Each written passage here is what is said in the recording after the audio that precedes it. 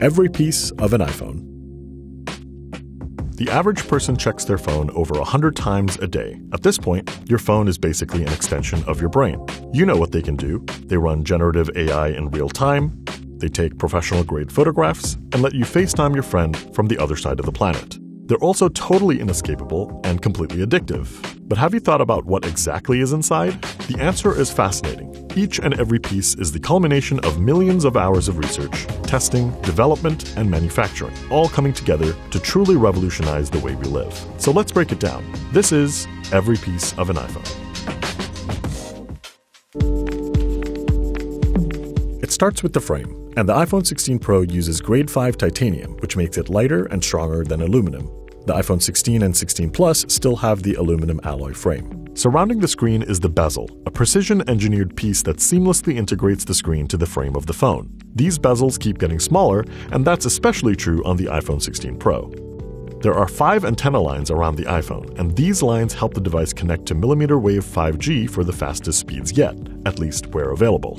There are now five physical buttons on the iPhone 16 series the volume rocker, the action button, the power button, and the camera control button, which is the newest addition. This button lets you jump straight into the camera, and you can slide your finger on it to switch camera modes. Press and hold it, and you'll activate Apple's new Visual Intelligence feature within Apple Intelligence that uses the iPhone camera and Siri to identify what you're looking at. Most of these features have popped up in various Android phones before, but Apple is happy to ignore that fact. The screen.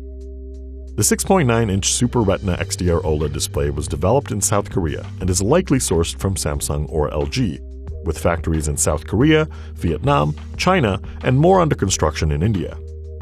Most smartphones use Corning's Gorilla Glass technology to protect the display, but Apple and Corning have a proprietary material called Ceramic Shield, which embeds ceramic nanocrystals into the glass to make it more shatter resistant manufactured in several countries, including the US and China. The iPhone 16 Pro range features Apple's ProMotion technology, which adjusts the number of times an image shows up on the display up to 120 times per second, though it can vary this number if the screen is static to save battery life. This is in line with most other phones as well, like those from Google, Samsung, and Xiaomi. The screens can also get significantly brighter compared to phones from five years ago, hitting 1000 nits max, though when you're watching HDR content, that can ratchet up to 1600 nits and even 2000 nits when you're outdoors on a sunny day. For comparison, Google claims its Pixel 9 Pro goes up to 3000 nits in certain conditions. On the opposite end, the iPhone can go all the way down to 1 nit for when you're scrolling in bed at night. The proximity sensor, likely manufactured by Trumpf in Germany, detects how close your face is to the device. A ribbon cable integrates the front ambient light sensor and helps optimize display brightness in any condition. For thermal management, the aluminum inner frame works in tandem with a heat dissipation film to keep temperatures under control. According to an Apple Environmental Progress Report, the iPhone 16 uses 85% recycled aluminum. These materials come from places like China, the global leader in aluminum production. Inside the front assembly, there's a black plastic bracket that not only secures the front facing camera, but also provides cushioning foam to prevent dust intrusion. Even the smallest details, like a foam strip aligned with the telephoto periscope camera, play a role in shock absorption. The back cover.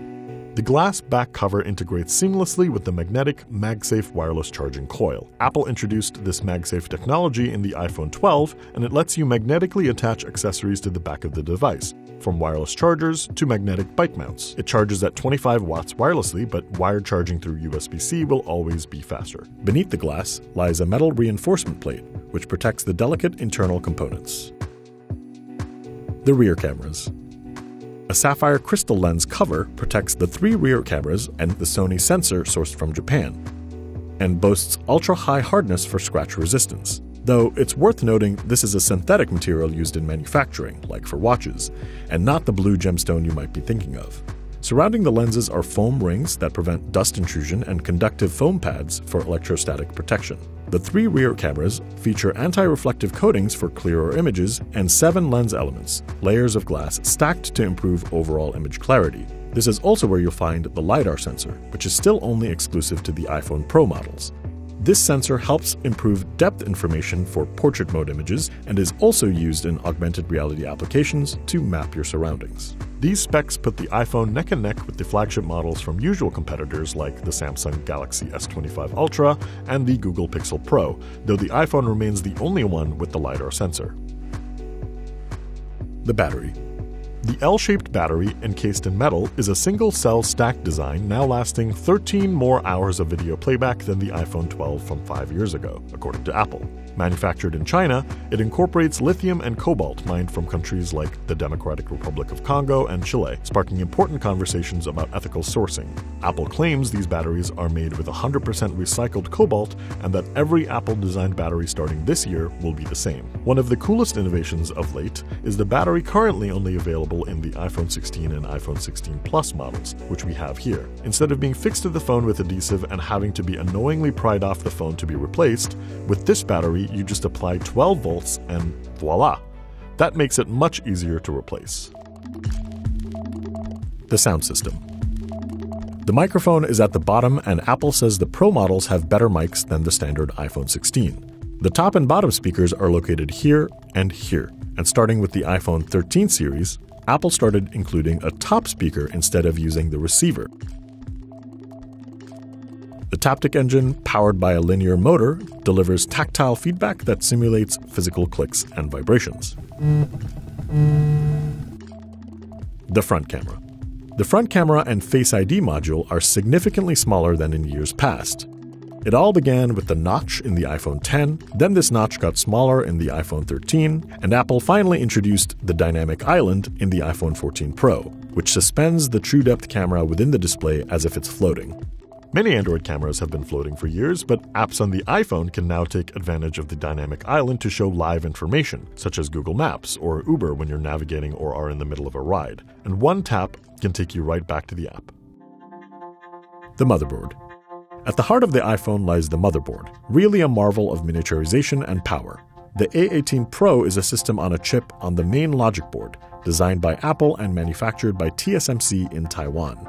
It powers this device with a 6 core CPU, a 6 core GPU, and a 16 core neural engine, which handles most of the artificial intelligence and machine learning processes, now dubbed Apple Intelligence. All the new iPhones now come with 8GB of LPDDR5X RAM, a big change from prior models that only had 6 gigs. This is what enables the iPhone to handle the intensive processing required for Apple Intelligence. And while we're on the topic of intelligence, Apple was recently forced to support RCS chat, so Apple and Android users can finally share modern text conversations with typing indicators and emoji reactions. Apple uses a Qualcomm modem, and this is the first iPhone to support the latest Wi Fi 7 standard, though you'll need a Wi Fi 7 router to actually make use of those faster internet speeds. The NAND flash storage on the Pro Max starts at 256 gigabytes and goes up to 1 terabyte, and it's typically sourced from Kioxia in Japan. Meanwhile, the ultra wideband chip enables precise tracking for things such as AirTags. Charging. The iPhone 16 Pro has a USB C port capable of 10 gigabits per second data transfer speeds, secured with JCIS Phillips screws. In comparison, the Lightning cable was capable of 480 megabits per second speeds, so it's 20 times faster now. The iPhone was finally forced to switch from the Lightning cable to USB C starting with the iPhone 15 series, and this is a win for consumers, because now you can use the same cable as your MacBook or iPad to charge. And as Android users are learning, now iPhone owners will be asking them to borrow their chargers. You can even reverse charge the AirPods case with the USB C cable. And there you have it. This is what makes an iPhone a device that's not just an object, but a symbol of human creativity, collaboration, and complexity.